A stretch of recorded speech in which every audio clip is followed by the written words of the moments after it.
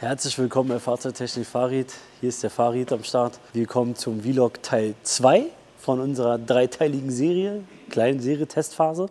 Achso, falls ihr euch wundert, der Ton ist ein bisschen anders, weil ich habe jetzt so ein Ansteckmikro, äh, habe ich mir jetzt mal geholt, wollten wir jetzt auch mal austesten. Wie gesagt, diese, die ganze Videoreihe ist nur eine Testphase. Ja?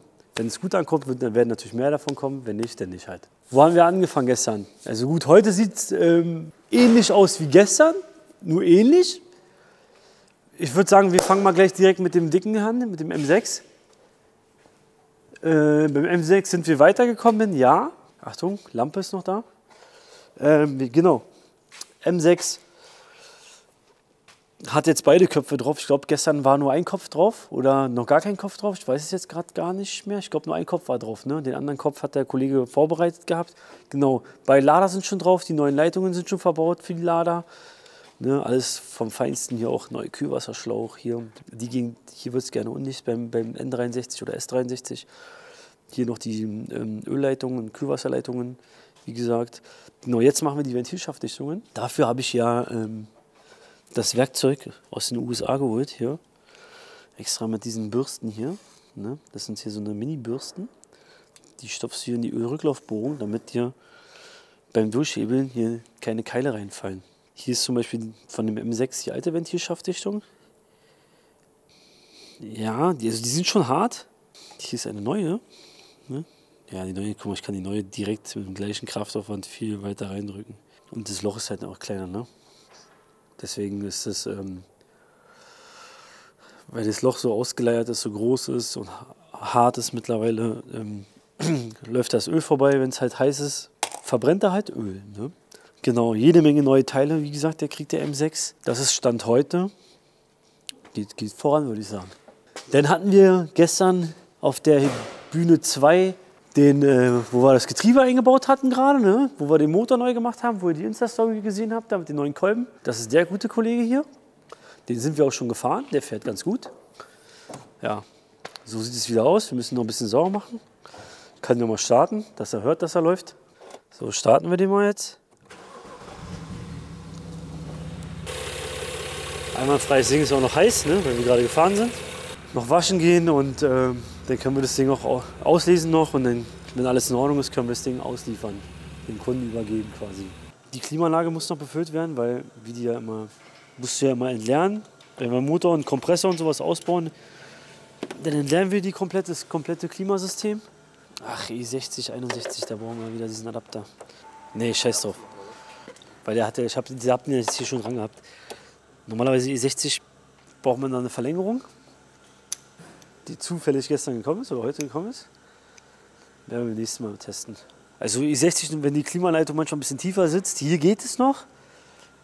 Aber bei manchen ähm, i60, 61, da, da geht es nicht. Und ähm, da wäre sowas angebracht, weil wir haben teilweise hier mal das, das Frontblech oder wie es das heißt hier, Schlossträger, haben wir mal abgebaut, damit wir dann den Klimaanschluss reinkommen. Was bekommt der? Der bekommt 810 Gramm. So.